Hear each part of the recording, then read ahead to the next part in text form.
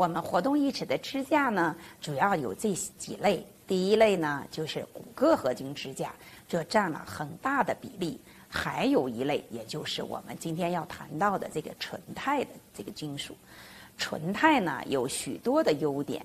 我们的口腔使用的金属材料呢，分贵金属，也就是有呃这个高含量的百分之八十以上金含量的哎贵金属，还有百分之六十左右的贵金属。然后呢，有贱金属，也就是我们的骨骼合金。当然，一旦时间内把这个纯钛呢，到它归于贵金属和贱金属之间。纯钛这种材料呢，生物相容性很好，啊，跟组织相容性是很好的。所以它呢，它还有一个优点就是密度小。这样的话呢，同样体积的金属支架，钛金属支架呢就质质量轻，重量轻。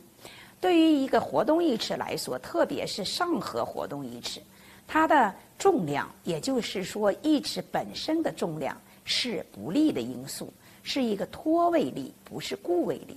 所以义齿越轻，对这个对患者来说是越好的。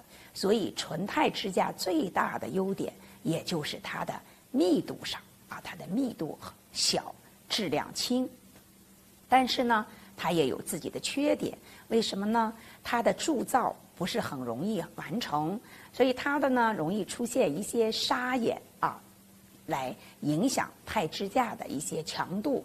特别是它的卡环，卡环的弹性比较小啊，卡环的弹性比较小，所以我们在一些支架性活动义齿里边呢，纯钛用的呢还是比较少。